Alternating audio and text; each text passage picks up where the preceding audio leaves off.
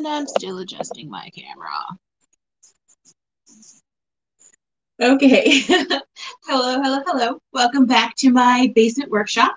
Today I am going to walk you through the process of how I decide how big of a pot to put something new in.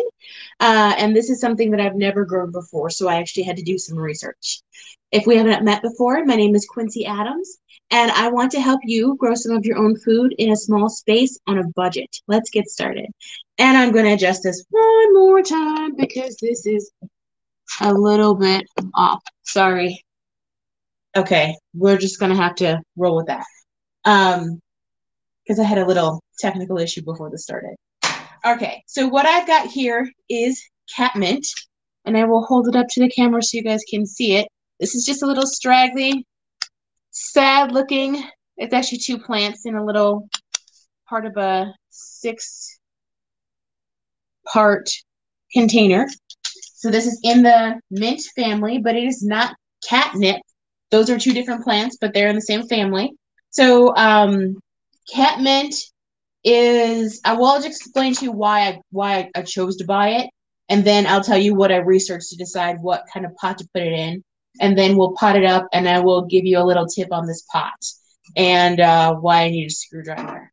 Okay, so catmint, it um, can be there's different varieties that are smaller and some that are larger. Some varieties can get up to eight feet tall, but the one that I bought should only get up to three feet tall. They have purple flowers. It blooms in the summertime. It's deer resistant. It's hardy in zones three through eight. It's easy to propagate by either splitting or taking cuttings. It attracts bees and hummingbirds. It can handle poor soil and it's heat tolerant. So those are the reasons why I chose to buy catmint, which is not catnip. Um, and then I will tell you about how I decided which size pot to put this in. So um, I start, I went to Google because that's where I start when I'm growing something for the first time. If I'm deciding whether or not I'm going to buy it, then I'm going to use search terms like how big does catmint get? Get. How quickly does catmint grow? Is catmint invasive? Growing catmint or how to grow catmint. What kind of soil does catmint like? So here's a little um, tip on one of those questions. Catmint is in the mint family. Generally, plants in the mint family are invasive AF. So if you don't want to grow a ton of that, don't plant it in the ground. But they do very well in containers. Um, so, but attracting butter or bees and hummingbirds to my yard I, is something that I want because I want to have a lot of pollinators come to my yard, and I want to make sure that they're getting into the habit of coming to my yard before I have my vegetables out. Because what happened last year is I expanded my garden and there wasn't a whole lot of bees around, and I didn't have anything to attract the bees to the to my yard early because the lilies don't open up until um and they haven't opened up yet, and it's almost mid May. But um, so I didn't have anything to attract pollinators, and I felt like that hindered the pollination and like the the growth of my garden. So in order to get on top of that and improve the pollination of my garden for the next year, I decided to get more kinds of flowering um, plants that are attractive specifically to bees. Uh, and this is just one of them. I've got others that I have not planted yet because I'm a hot mess gardener, but um, this is going to go pretty pretty fast and it's going to start blooming soon. So those are the kinds of questions that you need to to look at. My specific variety of catmint where I got it, the website says that it should only get about three feet tall and it should spread about 24 inches. So for the first year, they're going to be okay in a pot this size. I'm not sure what size pot this is. Uh, if it said when I bought it, actually, this is, there is something on here. It just says eight inches, 20 centimeters. So um, it would require math to figure out what that is in gallons, which I will probably do later. But um, this is a good size pot for right now. If the catmint gets really, really big and needs to be up potted, before later in the season, then I will do that. But for right now, I want to save my bigger pots for vegetables. and use up as many, like reuse these. I've had this pot for at least five years and it's had tape on it several times. And as you can see, I never took the bottom off before. And what happened since I've been living here is we sometimes get a tremendous amount of rain, particularly in the springtime. And these pots come with the little trays that are on with these little, it's like a almost like a little mini screw. See these little things? So these are pressed into the bottom of the pot. So there's holes in the pot. Um, and water can get through, a little bit of water can get through, but not a lot. So water can just sit in there and um, just keep the soil mo- soil wet. And you don't want that. You want your plants to be able to drain. Most plants don't like to be sitting in water.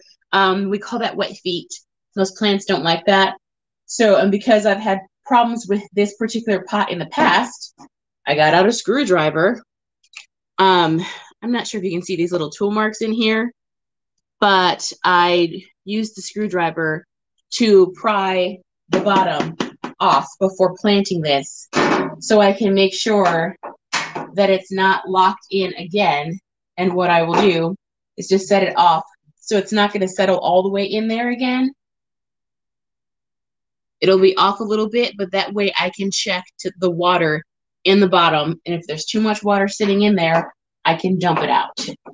And that way I can keep this plant from being flooded with water all the time. If we're getting a lot of rain, like we have been lately, the rain has been crazy. So when I have plants in these little, this was a six pack, I usually like to let it dry out a little bit so I can squeeze and it makes it easier to come out for them to come out. So I'm just pulling on one of these now that I've loosened it a little bit and the whole plug is going to come out. And you can see that it is, it was root bound. So let's see. You see roots all the way down the side and a little on the bottom. And there's a couple roots sticking off the bottom, but there's a lot of roots on the side of this. So it's got a good, nice root system, but it's just definitely you see them coiled up across the bottom. This needs to go in a bigger container. So what I'm going to do, this pot is already full of dirt. I don't fill them all the way up to the tippy top. If it has a, if it's a plastic pot that's got like an inner rim, I usually fill it about to the inner rim. Uh, I like to leave room in my pots for um, mulch if I can, just because in the summertime it gets really hot and I want to be able to keep them from drying out completely. There's either too much rain or there's too much sun and the pots get dried out. So with containers, particularly small ones, you have to wash them a little bit more often. I am going to gently pry this apart a little bit. So I'm not, ooh, you guys can't see that. You might be able to hear the ripping. I'm just gently loosening this up so the roots will grow out and do their thing.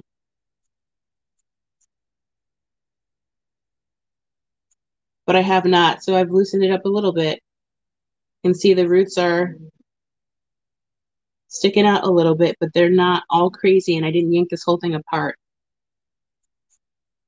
And then I just I make a little hole in the soil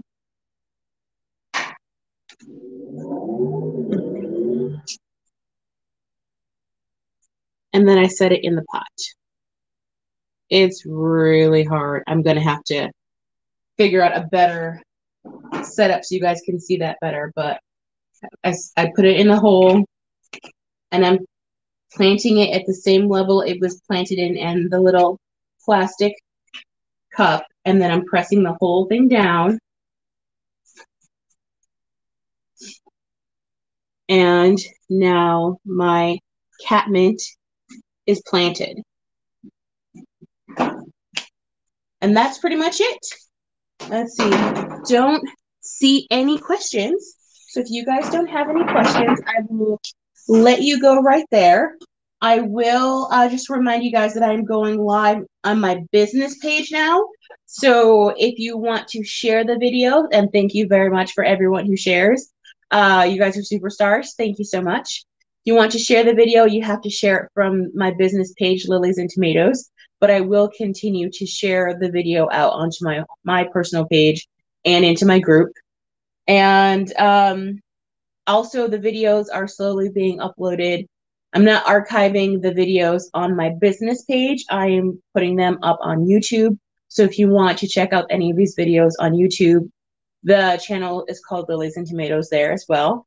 And uh, I've got the first week or two weeks worth of videos that I did, most of them up so far. So I will be doing a blog post to go with each video, putting the blog on my blog, which is also called it's Lilies and Tomatoes. It's li- liliesandtomatoes.com. And you guys can see my little logo up in the corner. And um, so then from now, the blog with the embedded YouTube video will be on my blog page. The, YouTube, the videos will be up on YouTube. And then I will be, the live videos will be continuing three days a week on my business page. So three days a week, Tuesdays, Thursdays, Saturdays, Tuesdays and Thursdays at 9 p.m. Eastern, 6 p.m. Pacific, and Saturdays at 5 p.m. Eastern, 2 p.m. Pacific that's all I have for now. Happy Mother's Day to all the mothers out there, including dog moms, because I'm a dog mom. And uh, stay safe, wash your hands, and have a good day. Bye.